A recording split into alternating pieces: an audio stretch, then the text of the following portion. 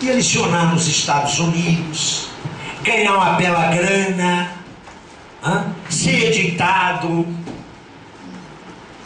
Uma discípula dele fez isso, a senhora Agnes Heller.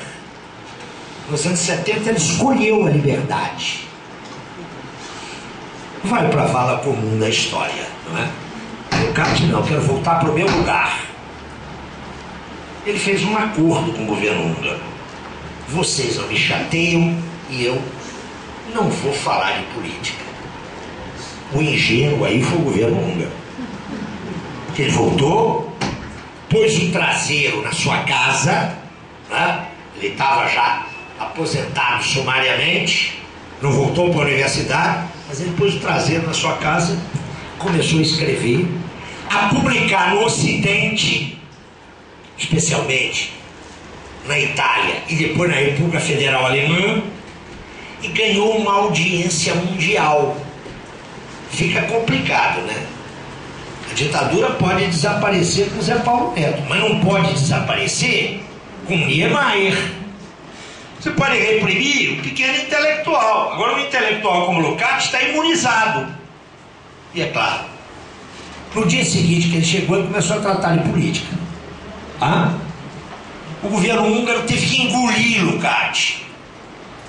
Lukács não tinha estatura moral de um zagalo, mas podia dizer: vocês têm que me engolir. Ah? O que, que Lukács se pôs como tarefa a partir de 56 e 57? E agora a gente começa a se aproximar aqui. Ele se pôs como tarefa fazer avançar o marxismo depois de anos e anos de paralisia teórica em função do stalinismo. É preciso, dizia ele, fazer renascer o marxismo. E ele tinha clareza do que ele estava dizendo. O marxismo estereotipado, aquele marxismo dos manuais, eu me atreveria a dizer aquele marxismo que a maioria de nós conhecemos, né? as três leis da dialética. Eu não entendi, Ronaldo, que são três, não seis. Que são três? Por causa com esse marxismo, primeiro, que não é fiel a Marx, segundo, que não dá conta dos problemas do mundo contemporâneo, nós não vamos a lugar nenhum. Porque a preocupação de Lukács era contribuir na construção da sociedade comunista. Esse Lukács já velho, sexagenário, tem uma frase que eu gosto muito, e que meu amigo Carlos Nelson Coutinho, que esteve aqui tantas vezes, me dizia, Zé Paulo, isso não é o melhor Lukács. A frase do Lukács é, eu prefiro, não, é melhor o pior socialismo do que o melhor capitalismo. Lukács morreu convencido disso. Hã? Crítica que ele faz ao stalinismo não é uma crítica para a restauração de formas burguesas ou liberais. É para avançar no sentido da democracia socialista e proletária. Ele dizia, para a gente chegar a isso, para que o marxismo seja capaz de empolgar os jovens e multidões, ele tem que passar por um processo de renascimento. Nós temos que redescobrir o que há de vivo em Marx e atualizar. E ele se propôs a fazer isso. Nos domínios com os quais ele iniciara a sua vida intelectual. No domínio da estética e no domínio da ética. Eu quero apontar isso porque já está claro para vocês que na vida do Lukács tem várias inflexões, várias mudanças. Mas há um fio condutor. Eu diria que é um fio vermelho que unifica todos os momentos da reflexão do Lukács. Ele, a partir de 57, ele Eu vou me dedicar a contribuir para esse renascimento do marxismo. E esse renascimento para ele implicava um renascimento estético e ético. Então ele planeja para três partes. Cá para nós, vocês, Ronaldo, concordam? O nosso querido Lukács tinha a pretensão de viver 250 anos, não os 86. Porque ele faz o seguinte projeto: eu vou escrever uma estética em três partes. Depois eu vou escrever a minha ética. Entre 56 e 60, ele escreve a Estética 1. Só a primeira parte. Publica em 63. E aí, começa a ver que ele não era eterno nem ia viver 250 anos. Ele sofre um golpe de morte em 1962, quando ele perde a companheira com quem ele estava desde 1918 ou 19, foi a sua terceira ou quarta mulher. Ah? O bom comunista, ele gostava muito da família, então ele constituiu várias. Mas a partir de 18, o papo mudou. Ele conheceu uma mulher chamada Gertrude Bortstiger. E essa mulher enfrentou com ele todos os exílios. Lucati a adorava. Gertrude morte, morre em 62. Isso foi um momento muito difícil para Lucati. Ele abandona a estética. Notem, estética ele produziu só uma parte. Lamentavelmente não está traduzido em português. Foi publicado em alemão em dois volumes. Tem uma edição italiana em quatro volumes. Tem uma edição espanhola em quatro volumes. Não sei se tem edição francesa, creio que não, né? Também acho que não. Bom, então ele disse: Eu vou escrever a minha ética. E agora a coisa era complicada. Por que, que era complicada? Porque se o debate estético acompanhou a constituição da tradição marxista, o debate ético sempre foi lateralizado na história do marxismo. Então ele não tinha que escrever apenas uma ética, ele tinha que desvendar os fundamentos de uma ética para o marxismo. Qual que era o grande problema dele? Como é que eu vou provar a especificidade da ética? Para trocar em miúdos. Como é que eu vou provar que a ética é uma dimensão estritamente humano-social? Ah? Na natureza, nos vários níveis da natureza, não há uma dimensão ética. Isso vários pensadores já tinham descoberto muito antes de Lukács, desde a antiguidade. Os problemas de Lukács, concordando com isso, era indagar por que, que há uma dimensão ética na constituição humana. Então ele se dispõe a escrever o que ele chamaria de introdução à ética, para vocês não se perderem. Ele começou a escrever uma estética. Ele estava convencido que, escrevendo uma estética uma ética, ele daria uma contribuição ao renascimento marxismo. E era isso que ele conhecia, porque se vocês ainda se lembram de como é que eu comecei a minha intervenção, foi pela ética e pela estética que ele começa a se afirmar como pensador. Então ele está voltando ao início da sua evolução. Há vários momentos na evolução do Lukács. Ao jovem Lukács, ao Lukács hegeliano, ao Lukács neocantiano. Mas além dessas diferenciações, há um único Lukács há um fio que amarra as preocupações do Lukács. E no fim da vida, anos 60, eu quero construir a minha estética, eu vou parar na primeira parte, porque ali estão seus fundamentos. Eu quero construir a minha ética, mas para isso eu preciso de uma introdução que a fundamente.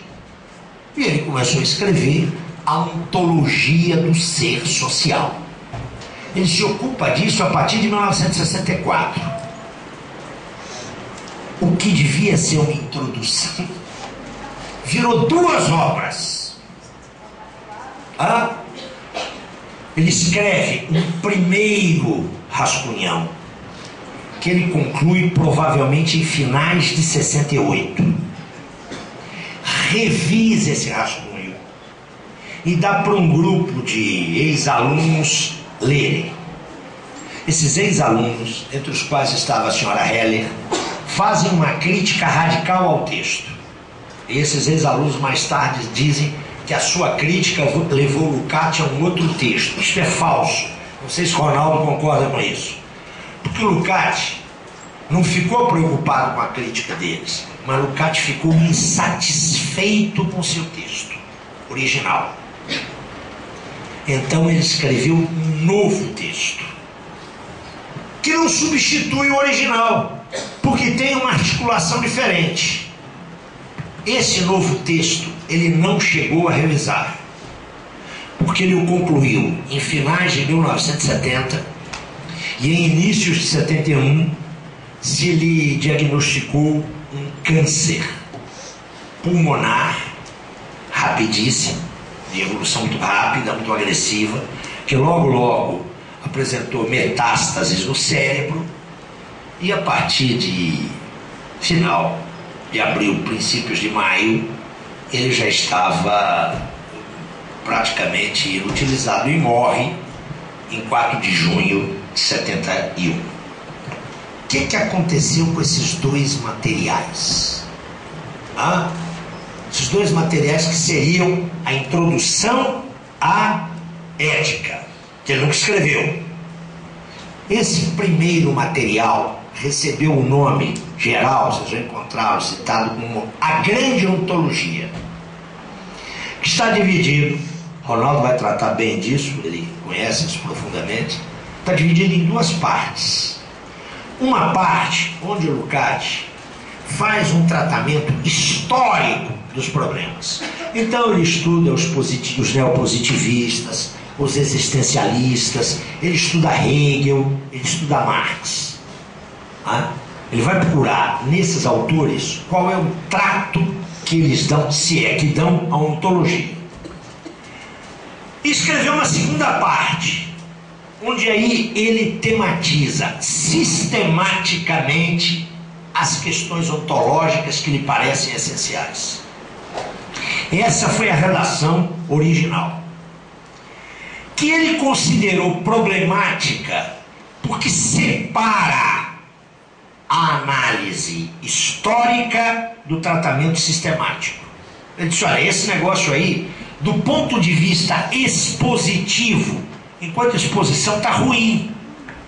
Daí que ele tem escrito um outro texto, que é aquele segundo que ele não revisou, onde ele procurou, e essa era a sua intenção, resolver essa dificuldade, essa fragilidade expositiva.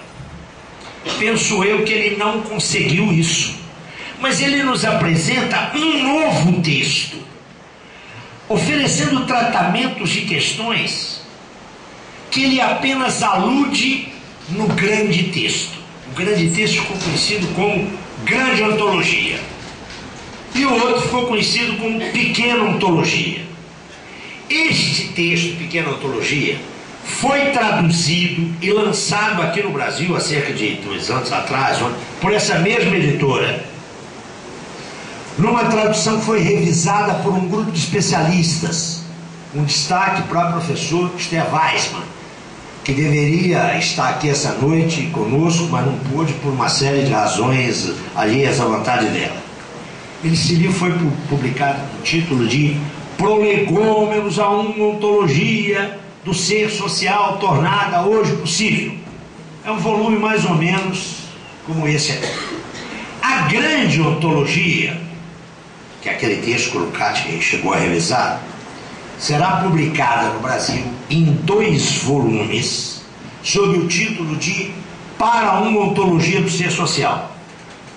O primeiro volume é esse aqui, o segundo volume sai no próximo ano, provavelmente no primeiro semestre do próximo ano. É uma tradução essa aqui, não sei como é que ficou a outra, mas de um conjunto de, de, de, de tradutores que passou por uma, como no mesmo caso da, do Prolegômenos, por uma revisão técnica cuidadosa. Se vocês acharem defeito, eu não achei não. Vocês reclamam com o professor Orlando foi o responsável, uh, um dos responsáveis por essa revisão. O que, que essa obra significa para o Lucati? Eu queria, e já encerro, já excedi 10 minutos. Essa obra é a contribuição do Lucati para o que ele chamava de renascimento do marxismo. Ele apresenta uma original interpretação da teoria de Marx para ele, há na obra de Marx uma teoria do ser social. Ontologia, meus amigos, é teoria do ser. É aquilo que o Aristóteles chamava de metafísica.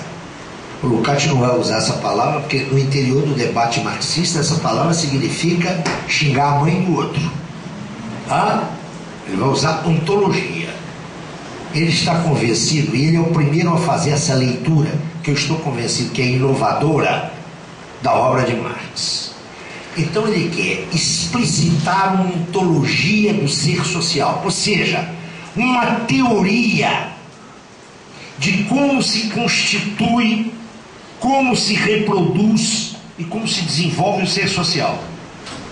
Essa contribuição, penso eu, não sei se Ronaldo concorda, é única na história do marxismo.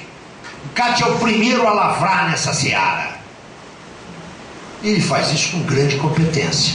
Eu estou convencido que esse conjunto de obras, ou seja, a estética e as duas versões da ontologia, são a base para o renascimento do marxismo.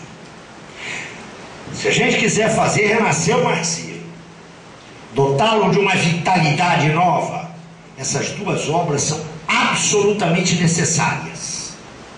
A tese que eu sustento é que não haverá desenvolvimento renovado do marxismo sem o recurso à estética e à introdução e à, e à ontologia do Lukács. Mas atenção, Lukács não é elixir de catuaba composta. Né? Casos calosidades, queda de cabelo, uh, impotência e câncer. Uh? Lukács é necessário, mas não é suficiente. Uh? Eu diria de Lukács o mesmo que digo de Marx. Quem quiser entender o mundo contemporâneo sem Marx não vai entender absolutamente nada. Mas que, quem quiser entender só com Marx não vai entender tudo, não é? Aqui está a base, penso eu, sobre a qual pode se operar um conjunto de contribuições que faça com que o marxismo seja a alma viva do nosso tempo. Aquilo que Sartre, falando dos anos 60, disse: o marxismo é o espírito do nosso tempo. Não vejo como dinamizar, retomar o marxismo sem essa contribuição de Lukács.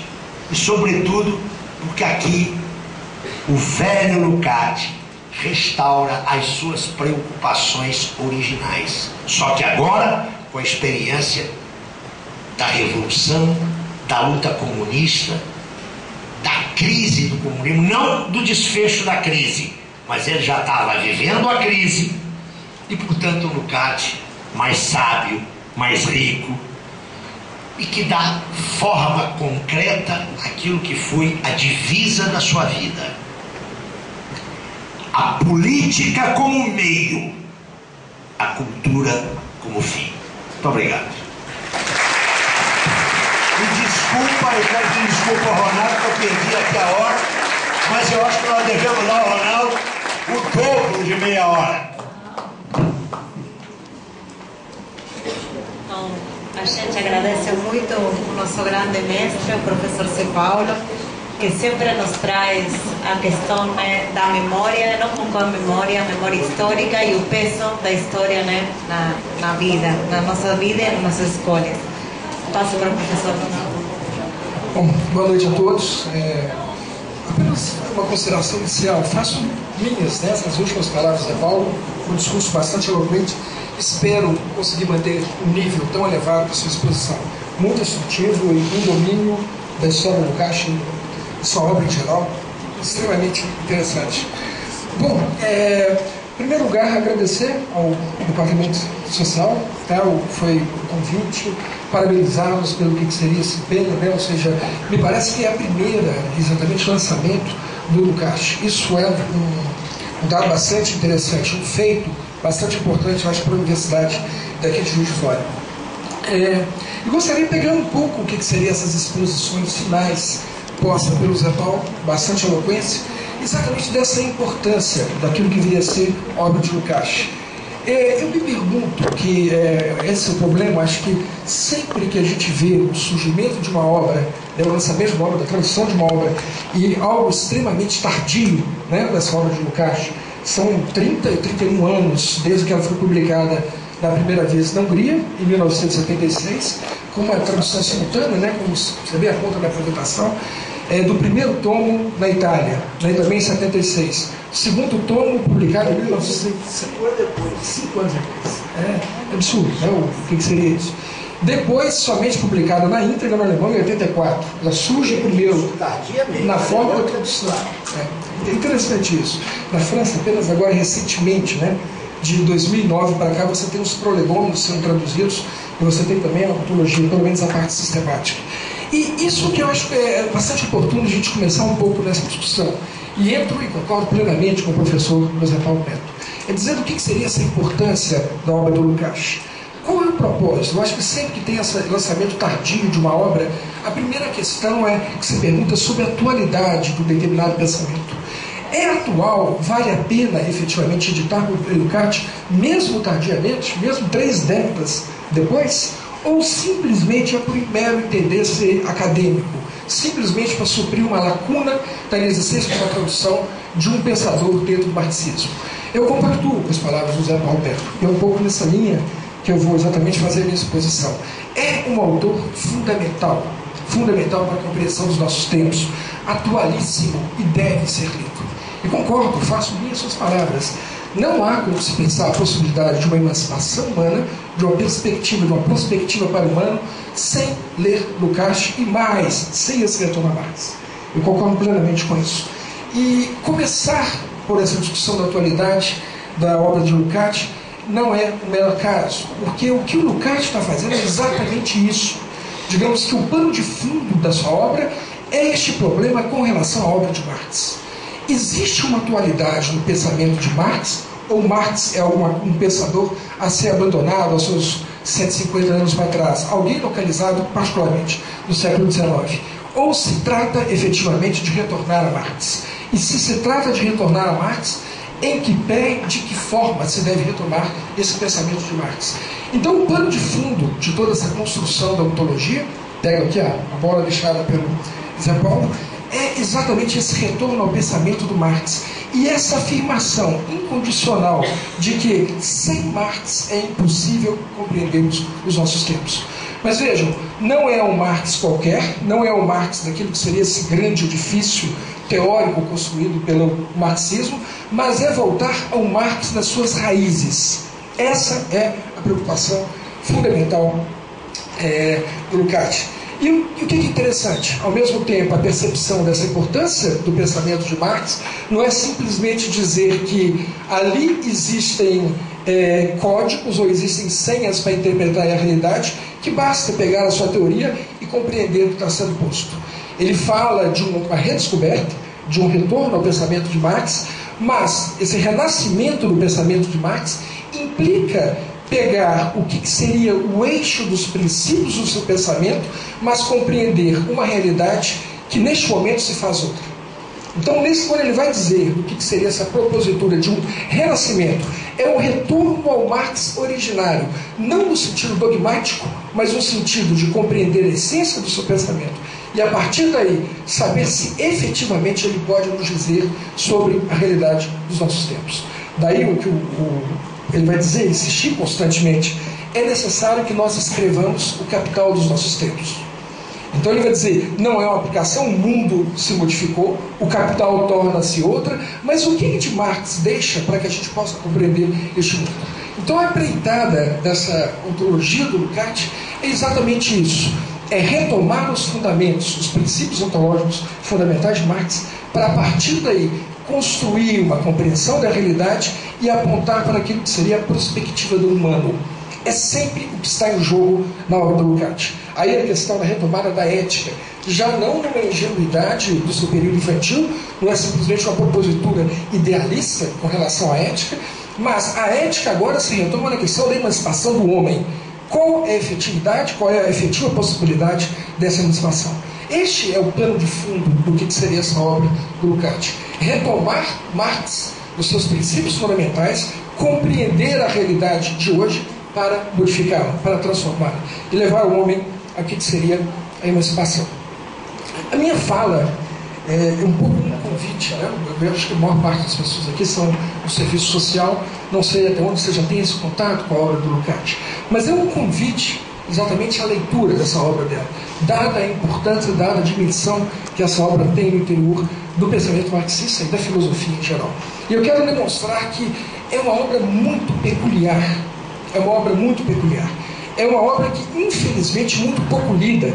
Eu diria que no Brasil, talvez o Lucas seja mais mal estudado, bem baixinho, mas onde é mais estudado é o Lucas, porque em qualquer lugar do Itália, no, acho que em lugar e acho que é bastante oportuno essa, essa publicação agora da, da ontologia do Lucas, principalmente o pessoal do serviço social.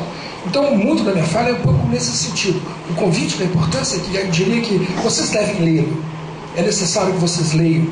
Vou falar hoje basicamente do que seria esse tomo 1, mas principalmente o tomo 2. Eu acho que as pessoas geralmente se dedicam muito mais ao capítulo do trabalho, mas o capítulo final do estranhamento é impossível alguém do serviço social não ler. Ele trabalha questões fundamentais sobre o problema do que seria o papel no interior da, da mulher, no interior da sociedade, o recrudescimento da religiosidade. Tem uma, é, é uma questão fundamental. É atualíssima, o que eu diria com relação a isso. Mas o que é interessante? Eu quero traçar um esboço, quem sabe no segundo convite, né, amigo, é, Rodrigo, a gente possa trabalhar o que seria essa parte sistemática e falar do capítulo do estranhamento. Mas me atendo um pouco ao que seria isso que nós temos agora em mãos, é, da ontologia, eu tomo alguma coisa que se passa, geralmente eu, é, isso me incomoda muito, né? a gente vem um pouco da filosofia e tem essa mania do rigor dos conceitos, o rigor do, do que seria determinados ramos do pensamento. Uma coisa que eu acho que até no serviço social, isso acontece muito, no lucacianismo brasileiro, é passar um pouco desapercebido o que, que vem a ser essa palavra ontologia. Ela é dita e ela é pronunciada como se fosse, digamos, alguma coisa simples, né?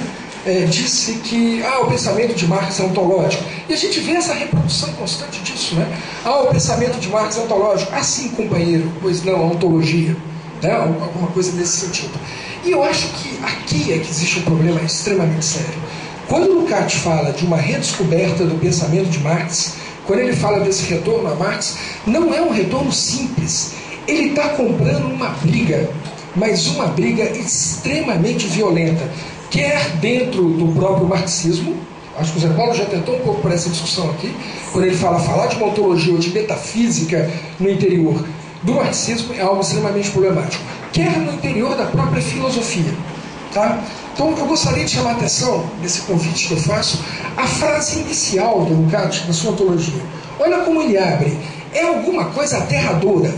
É aterrador o que ele está fazendo dentro do seu contexto. E eu fico extremamente triste com a banalização da palavra ontologia que ela ganha hoje em determinados meios. Olha o que, que ele diz no início da sua obra.